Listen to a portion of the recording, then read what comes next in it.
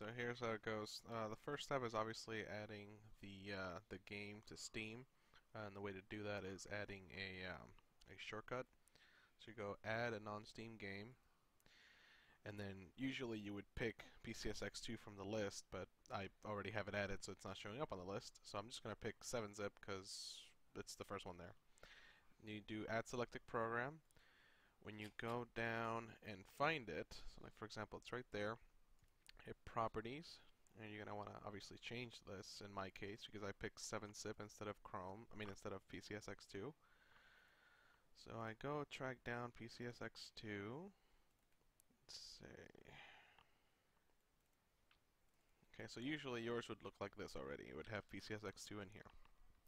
And what you want to do is add the name of the game or the file name for the game in here. So in my case, my games are all here and this is the PCSX2 I was just using so I want to pick a game so let's say what's easy to pick here? I don't know Dark Cloud let's say. So you would copy the file name and you would paste it in here then you would do full screen and no GUI. Oh right we should probably change the name of this. Uh, dark cloud example because I think I already have dark cloud in there. Close that out. As you can see now it's showing up as dark cloud in here. And if I were to launch it it'll launch the game dark cloud. And actually I could probably do that right now. Let me see.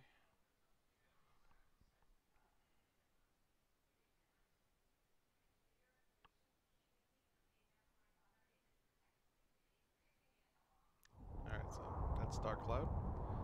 Close out of it. As you can see, the icon right now is uh, is PCSX2, so we want to change that.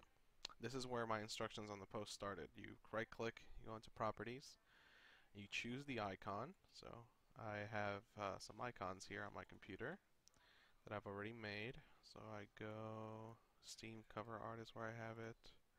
It's a PNG file, Dark Cloud right there. As you can see, it's just the cover art for Dark Cloud. So that's that step. Uh, for adding the custom banner, you have to come into grid view, which you go to view, games grid. Then we go down to Dark Cloud, which is, oh, here it is, Dark Cloud. Right click on it, uh, set custom image. You browse, and then you look for the image where you have it saved, which again, in my case, is in here. I have them saved as PNGs, but it doesn't matter, you can save them as JPEGs if you'd like. That's Dark Cloud, set image, and there it is. That's, that's basically all you need to do. If you have any questions, just go ahead and post in that Reddit thread and I'll help you guys out.